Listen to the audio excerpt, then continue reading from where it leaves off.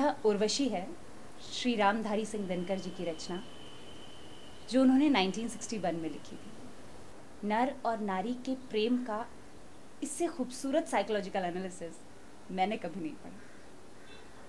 सुनिए, इसमें क्या आश्चर्य? प्रीति जब प्रथम प्रथम जगती है, दुर्लभ स्वप्न समान रम्य, नारी नर को लगती है। कितनी गौरवमयी घड़ी।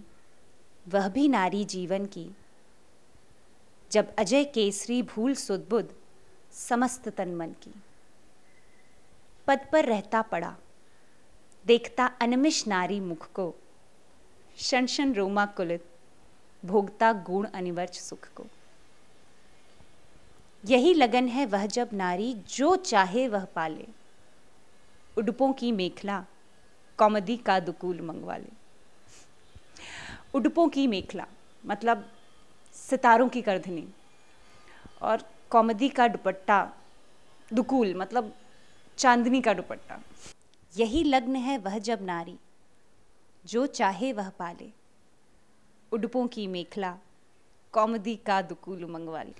रंगवा ले उंगलियाँ पदों की उषा के जावक से, सजवा ले आरती पूर्णिमा के विधु के पावक से तपोनिष्ठ नर का संचित तप, और ज्ञान ज्ञानी का, मानशील का मान, गर्व गर्वीले अभिमानी का।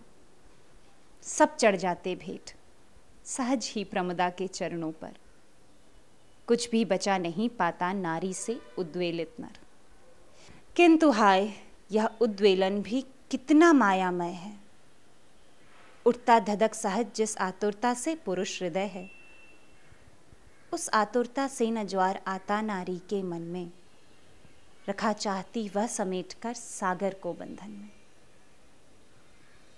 किंतु बंध को तोड़ ज्वार नारी में जब जगता है, तब तक नर का प्रेम शिथिल, प्रश्मित होने लगता है। प्रश्मित मतलब बहुत धीमा, स्लो।